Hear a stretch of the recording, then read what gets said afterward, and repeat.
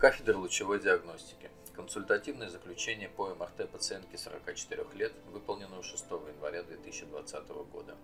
На представленной серии МР-томограмм поясничного отдела позвоночника получено изображение в двух проекциях разного типа взвешенности. Костно-деструктивных изменений не найдено.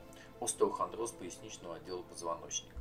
Выпрямлен поясничный лордоз, сколиоз влево. Снижена высота дисков. Артроз дугоотрощатых суставов.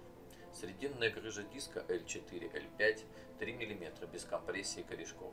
Диффузная грыжа диска L5, S1 5 мм с касанием корешков с обеих сторон. Конус медуларис на уровне тела позвонка L1 не смещен, не деформирован. Сигнал от него не изменен. Заключение. МРТ – признаки дистрофических изменений позвоночника, видео остеохондроза, начального спондилеза. Зав кафедры профессор Холлин А.В.